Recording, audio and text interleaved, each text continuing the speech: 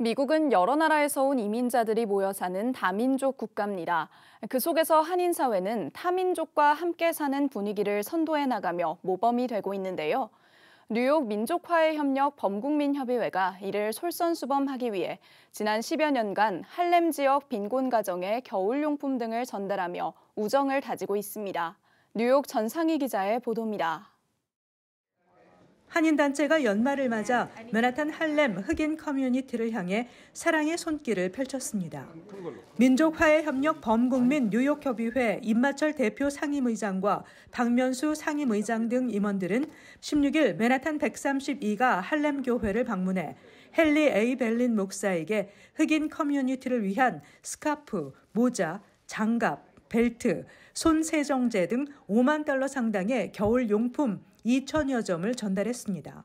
이 자리에 참석한 찰스 랭글 전 연방 하원 의원은 매년 할렘 지역에 따뜻한 우정과 사랑의 손길을 전달해주고 있는 한인사회와 뉴욕 민화협 관계자들에게 진심으로 감사드린다며 6.25 참전 용사로서 한미 간 혈맹의 우정을 다시 한번 피력했습니다.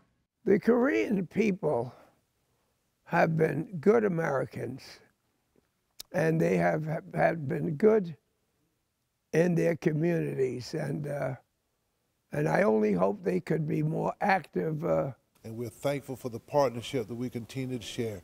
Pray to God continue to bless all of you in your time and in your sharing uh, in this season. 임마철 대표 상임의장은 타민족과의 적극적인 공존이 필요하다며 이를 위해 매년 연말이면 할렘을 찾고 있다고 말했습니다.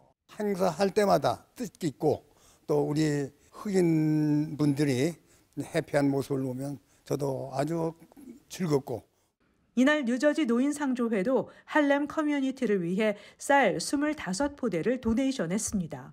여러 나라에서 이민 온 사람들이 모여 사는 다민족 국가인 미국에서 타민족과 화합하지 않고는 안전하고 행복한 삶을 누릴 수 없을 것입니다.